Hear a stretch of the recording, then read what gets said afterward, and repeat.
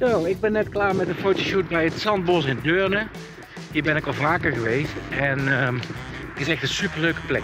Het bos is vrij groot en aan de kant waar ik altijd foto's maak uh, is vooral heel veel water, mooie bossen, kleine stukjes uh, ja, bos en hei waar je jezelf uh, mooi in neer kan zetten voor een foto. Aan de andere kant van het zandbos is ook een natuurspeeltuin. Is minder mooi voor de foto, maar wel heel leuk om te combineren met de kids als je hier bent. Of uh, ja, misschien toch ook wel om foto's te maken als je ja, graag spelende kinderen op de foto hebt. Ik laat nu even wat foto's zien die ik hier gemaakt heb.